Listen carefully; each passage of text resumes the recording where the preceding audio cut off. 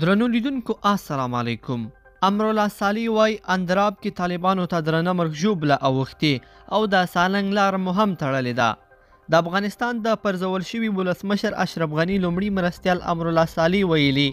د شنبې په ورځ د مقاومت ځواکونو په اندراب کې طالبانو ته کمینونه نیولي وو او دې ډلې ته یې درنه مرګ ژوبله وراړولې ده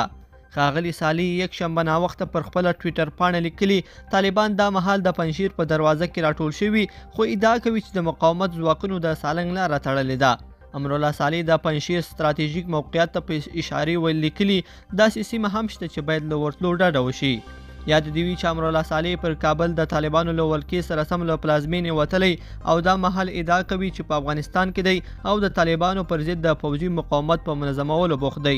نوموړي بیا بیا ټینګار کړی چې په هیڅ صورت به د طالبانو ته تسلیم نشي او نه به هم دې ډلې سره پر یو میز کینی طالبانو د امرالله صالح وروستي سرګندونو ته غبرګون نه دی ښودلی خو د دې ډلې ویاند ذبیح الله مجاهد یکشنبه بي بي سي ته وویل هڅه کوي چې خپل وسلوالو مخالفینو سره د خبرو له لارې ستونزې حل کړي بلخوا احمد مسعود وايي مذاکراتو او جګړې دواړو ته چمتو یو په ورته مهال د افغانستان په شمال او مرکزي سیمو کې د وسلوالو طالبانو پر ضد یو بل جوړیدونکي ټلواله وایي له طالبانو سره د خبرو نیت لري خو که اړتیا پیښه شوه نو اوږدې جګړې ته هم چمتو دي بلخوا طالبان وایي سر له سبا